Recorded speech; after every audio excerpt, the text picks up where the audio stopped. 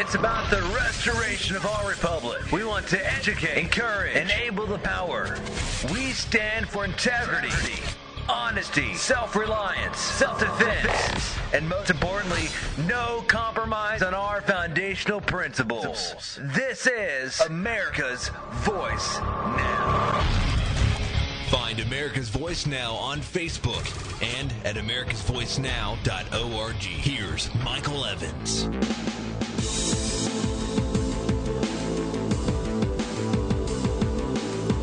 Good morning, America. You're listening to America's Voice now. Glad that you're able to join us. Appreciate you riding along with us this morning.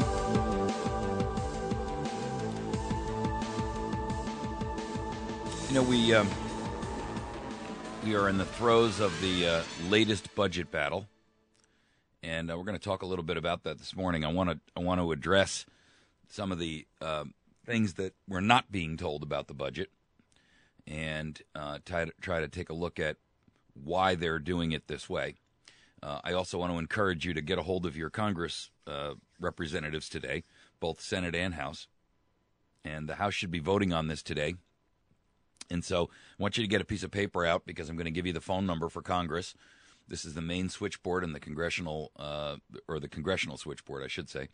And uh, basically, all you do is call up and ask for your representative and have your say about what is going on uh, with this budget. Now, I encourage you to do that because that is the only way in which they're willing to pay any attention to us. And um, quite frankly, elections are coming and we need to make our voices heard. Our second issue is going to be uh, an update on America's Voice Now. You know, we've been building a video studio. We're pretty close to completion. We want to uh, get some some help from you folks uh, to accomplish that.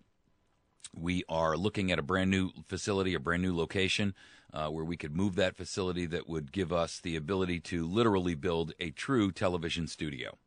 And so I want to talk to you a little bit about that. I'll bring you up to speed as we move forward. Uh, I want to kind of give you an update on what we're doing with uh, the radio program as well. So, in addition to that, our third segment is going to be China's undue influence on America, American politics, and American policies, not only uh, domestically, but also our international policies, and how the undue influence of China is affecting us in ways that we may or may not be aware of. You know, the, the fact that they hold an enormous amount of debt and that we're so beholden to them, not just for debt, but for uh, the price of goods that come into the United States and so forth. You know, the, the government is, is desperately trying not to upset the apple cart there. Because if China ever uh, changes their monetary policy domestically, uh, it will dramatically in- increase pricing here in the United States. And um, you'll see a, a, a sea change in the way Americans look at foreign goods. Our fourth topic is going to be our founders warned us long ago. And I want to talk to you specifically about some of the quotes from some of our founding fathers because I think that everything that we're experiencing today is, or, or sh- I should say, was uh, presaged by our founders a long time ago. You know, they had gone through what we're experiencing now, um, but they actually did something about it. And I think the fact that we are right now uh, looking at losing our nation and losing our republic and losing our liberty and our freedom as we capitulate to these concerns and the, and the cries of, well, we have to do it for your safety, for your security. It's all for you. And I think we're missing the point here, and I think we're missing the boat. And I want to talk a little bit about that. If you'd like to give us a call into the show today, you're certainly welcome to. The telephone number is 417 204 5141. That's 417 204 5141. And you're welcome to uh, give a call into the show today if, if uh, you'd like, and uh, we'll be happy to try to take your calls live. Okay, so let's get started on our first uh, topic. Our budget vote is up for today. Now, yesterday I talked briefly about this because I was trying to look at some of the details of it. And I, I, I got to tell you, the more I see about this, the less I like it. The, the the problem that we have here is that this is, and and by the way, now there's a lot of strife internally in the Republican Party about this issue. The argument, of course, is that the the House Republicans are caving and capitulating into agreeing to this two year budget deal. And there's a couple of real reasons why that's a problem. Not the least of which is two years takes us into 2015. What does that mean, you say? Well, why should we care? I mean, isn't a two year deal better than a one year deal? Well, in normal times it might be. But here's the problem 2015 is also an election year. If you remember, that will be the period in which we'll be going, that'll be right about now, but in 2015. So just short of a new presidential election. One, the focus won't be on budget issues. It'll be on who's running and what they're saying and what they're promising and what other other lies they want to shove down our throat. Two, this basically cements in place a funding level that is, for all intents and purposes, to the advantage of the existing Obama administration, not in the advantage of the American the American uh, population. And in addition to that, it is taking away the one level of, you know, I, I want to say the pry bar, if you will, that we have. It seems like every time we're in the catbird seat in terms of a negotiating position, we give it up. And I don't understand why we would be willing to acquiesce to damaging the sequester, which was forced spending cuts because Congress could not get their act together. And and now we're going to essentially take those four spending cuts and we're going to say, okay, we're going to give you a reprieve. It's like going into and negotiating with Iran when and, then agreeing to cut sanctions when the sanctions were actually the thing that brought them to the negotiating table in the first place. And now we're doing it domestically within our own financial system. To me, that is just an absurdity. The problem is that when we have an issue that brings the opposition to the table because they don't want it, you don't take that one thing that has that has brought them there and and and withdraw it and say, okay, we're not going to use this particular tool anymore. And what they're talking about here is such a nonsensical, so minuscule in the overall scheme of things. I mean, uh, Paul Ryan is coming out, and, and of course he's the the uh, creator of this budget, and he's trying to make except you know exceptions and and talking about how this is you know the best that we can get and so forth and so on. But I have to tell you, to me, that's capitulation. In fact, there was a video this morning um, on CNBC that was uh, really harsh about it. I mean, uh, um, you know, the, the, the problem is that uh, David Stockman, um, who was the who used to be the former federal budget director, was extraordinarily harsh on this. He said, first, let's be clear, it's a joke and a betrayal." He served under Ronald Reagan, by the way, and he was on the uh, CNBC Financial Channel. He says it's the final surrender of the House Republican leadership to Beltway politics and kicking the can and ignoring the budget monster that's hurtling down the road. He went on to add that this would give lawmakers a two year vacation from having to deal with the country's fiscal situation. And of course, the problem is that he goes on to say that we'd be revisiting it in 2015, which, you know, is around the same time the Iowa straw polls are out. So all focus and attention is on that. No attention is back on the issue of financial and budget budget issues. The problem is there won't be any incumbent in the White House either. So everybody's focus is going to be uh, either on Hillary or whoever the Republicans put up. And the truth is, I think that this is really, for, for first of all, Boehner is for this, and that ought to tell you something right there. John Boehner in my opinion, has been one of the worst House uh, leaders we have had.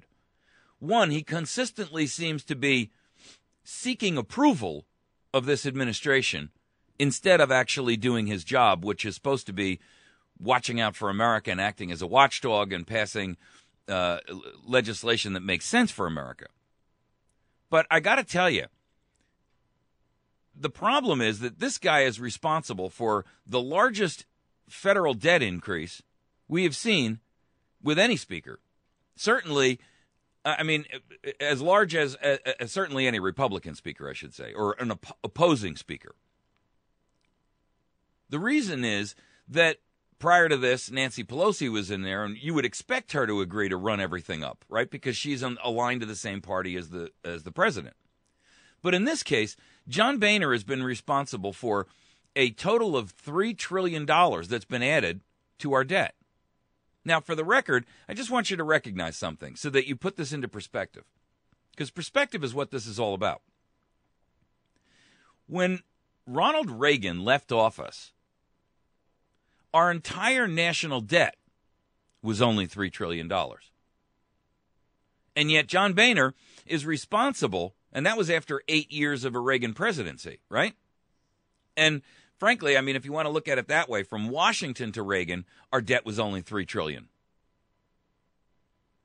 Now, Boehner is responsible for 3 trillion as the lead speaker of the House in an opposition party who's supposed to be monitoring. And, you know, Congress's job is to control the purse strings.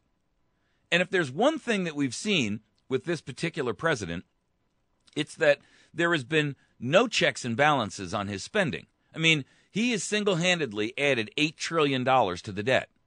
And he's got three years to go, folks. We could easily find ourselves. Uh, in fact, listen, there's no denying we'll be at 20 trillion by the time he gets out of office. But we could find ourselves as high as 25 trillion. How do I say that? Well, because he's in the first 5 years he's added 8 trillion and all it would take would be some kind of a financial catastrophe or another collapse or something along those lines. And let's not fool ourselves into thinking that that's not a reasonable or or possible expectation. And the next thing you know, he'll be doing the same thing. Well, we've got to bail out the banks and we've got to do this and we've got to I mean, look, the Fed is already out of tools in their in their bag, if you will, as to how to keep the economy moving or at least try to get it restarted. They admit that themselves. They're flailing like drowning people. And Janet Yellen, you know, she's she's not going to be any salvation to us. I mean, she's not going to reverse the policies of the Fed. She's a 100% believer in the Fed. She wants to continue the the unconscionable uh, purchasing of our debt and and the monetization of our debt, where she is buying the debt almost exclusively at this point. In other words, we're not really selling debt to anybody but the Federal Reserve now. The Federal Reserve is buying all the debt. China's not really buying anymore. They're keeping static. So if something expires and they roll it over, but that's it. They're not buying anymore. They're at 1.3 trillion. Japan is at 1.1 trillion. And honestly, with some of the things that have just gone on politically in Japan, they're they're looking to be more militaristic and fascist than they've ever been before, or at least in our history, prior to world or you know post World War II. They hold 1.1 trillion and they've sworn us off too. They're not buying any more. They'll only roll over what they have. Like a CD that comes due, they'll renew it, but they're not going to put any more money in this bank. So that means that, frankly, those are the only two countries out there that are solvent. The European Union is insolvent, right? Russia is not buying into us because their attitude is we want to break the back of the financial hold that the United States dollar has on the world's Federal Reserve currencies. So what we're seeing here is multiple nations who have been the the purchasers of our debt who are now giving us, you know, the, this hands-off approach where they don't really want to touch our debt. And I'm going to touch on that, especially regarding China and their undue influence on us and on American politics in general, both foreign and domestic, when I hit our, our third segment this morning. But at this stage in the game, you know, John Boehner has been single handedly responsible for assisting Barack Obama in in incorporating at least 3 trillion of this eight trillion dollar boondoggle he's put us into. We are now at seventeen point four trillion dollars, ladies and gentlemen, and that is already in excess of our of our uh, GDP or global domestic or gen, uh, domestic product, gross domestic product. So what we really have at this point is a speaker who has shown us that he's really not interested in doing what's right for America. He's interested in doing whatever's right for him. And I can't, for the life of me, figure out what it is that John Boehner has gotten from this administration that makes it all worthwhile for him to betray his, his own party and, quite frankly, his nation. I mean, it's almost like he's constantly seeking Obama's approval. If you've ever seen him in person eh, on a video clip where he's in the presence of Obama, he's like a subservient boy. He's he's like seeking the approval of his of his you know elder or his better. And the truth of the matter is, that's not what our constitutional outline was supposed to be. We were supposed to have three different divisions of government that acted as a backstop and a and a pressure pushback against other divisions, whether you know, or, or the other uh, two areas who were falling into government overreach, right? So if the House, which has the the purse strings, and by everyone's acknowledgement, they are the ones who are responsible to hold the spending in check in order to keep an executive who, which is run amuck and out of control in control. But he's not doing that. He's acquiescing to virtually everything he's asked for. Now, when they're talking about this budget deal, you got to recognize, first of all, the, the, the idea of what this budget thing is going to do is a joke. First of all, they're going to raise new revenues and they're going to jack up the price on air travel in order to cover it. The Department of Homeland Security asked for an increase of 60 cents, and they're going to actually give her far give uh, DHS far more than that. And this fee increase, while while you know almost so small it doesn't really you know impact most Americans, you have to realize that part of what that fee increase funds is the TSA, which is for all intents and purposes acting like an enemy of the of the American people. They are they are a seven and a half billion dollar budget group. In other words, their budget is seven and a half billion dollars a year. They only generate with user fees 1.9 billion. So the taxpayers are eating the rest anyway. And to make matters worse, this amount of money that they're talking about increasing fees on, and they're going up 124%, folks. That's not actually targeted and earmarked for the TSA to cover their shortfall. It's going to go into the general treasury where it will be squandered. Again, how many times have we seen this? Now, the truth is that when we look at the amount of money that we're spending, it is so far over the top of where we should be and what righteously we should be looking at to spend that I got to tell you, I mean, we're empowering a president with a blank check. And we're empowering a president with a blank check who clearly is either inept and incompetent or, frankly, malicious. And I don't care which side of the fence you fall, but you got to admit that there's something desperately you know, empirically wrong with what's going on right now in every aspect of, of our nation, whether it's domestic or foreign. His foreign policy is an utter disaster. The the old allies we've had are turning away from us. The new allies he's bringing on hate our guts, but they're willing to sidle up to us because he's making them promises of things like money and rights and things like that that they don't they're not entitled to. And he's creating this friction with you know the world's markets that is not is not advantageous for us. On a domestic front, we haven't even seen yet what the price tag is going to be for Obamacare. So when I said to you earlier that we could easily find ourselves at $25 trillion by the end of the Obama era, that doesn't even take into account the Obamacare debacle. Right now, it's already costing us $3 trillion. And they're saying that this could be 5 trillion a year. And this is the CBO now. This isn't like some, you know, left wing or right wing kook.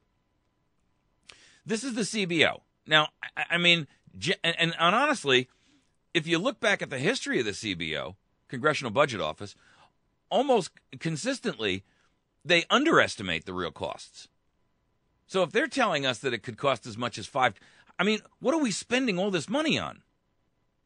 You know, I gave an example the other day when we were when when we're looking here at eight trillion dollars in debt. When the, when you divide that amongst the actual families, there are 115 million households in in the United States. So when you take 115 million households and you divide eight trillion dollars, it's about 20. It's about uh, 26 thousand dollars per household per year. I mean, do the where is all that money? I haven't seen any of it. You haven't seen any of it. Where is it? Per person, you have committed to spending uh, $75,000 over the five year period that per, per, per family, if you for a family of four, as an example, of this spending. But I can tell you that my lifestyle and the money that I see flow through my home hasn't come near anywhere near that. I can say that I'm not living better than I was before Barack Obama came on board. Certainly far worse. And I think most Americans would agree with that. Unless you're in the upper echelons where I think, you know, that's where the great the great sound of vacuum is occurring, people. It's occurring at a level that is far and away well above the levels of, of the average American citizen, even above the upper middle class. The division here that has been drawn up for us is so vast at this point, and the chasm is spreading quickly. You know, there's the haves and the have nots.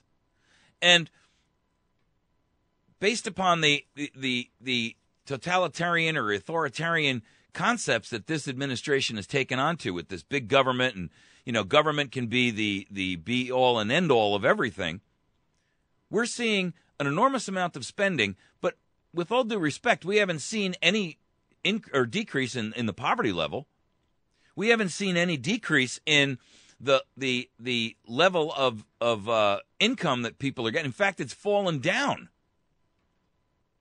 the the they're telling us that they need immigration because they need qualified employees. But we've got literally Americans who are coming out with degrees that cannot find a job. The, the, the unemployment rate is at an all time high. We have seen a decrease per household of somewhere around $3,500 since this president took office. So where is that $8 trillion? I mean, if you distributed it across the board, you should be getting somewhere close to about $25,000 per year per household. Where is it? And now they want to spend more. And what they're going to do is undercut their own sequester project, which forced only a 2.5% cut in the actual increase of spending. Not the actual spending, folks, just the increase in the spending. 2.5%. So the equivalent there is for me to say to you, okay, so I, I recognize that you have bills that total $25,000 a month and you make $5,000 a month. And you say, okay, well, in order to account for that, what I'm going to do is I'm going to be more than willing to help out here. So I'm going to cut my cable television off. You got to be kidding me. All right, you're listening to America's Voice now. We're going to take a quick break. When we return, I want to take a, I want to give you folks an update on what we're doing with the video program in our video studio, and I'm going to enlist your help in this because we can, we need some help, both physical and financial. Let's talk a little bit about that on the return. You're listening to America's Voice now. You can find us by going to our website at americasvoicenow.org. You can also find our Facebook page at facebook.com forward slash America's Voice Now and youtube.com forward slash America's Voice Now. I encourage you and ask you to subscribe to our YouTube channel, hit the like button on our Facebook page, and follow us also on Spreaker, our uh, uh, podcast streaming service as well. And if you would be kind enough to follow on that, when we hit 100 users, they'll uh, put us on iHeartRadio.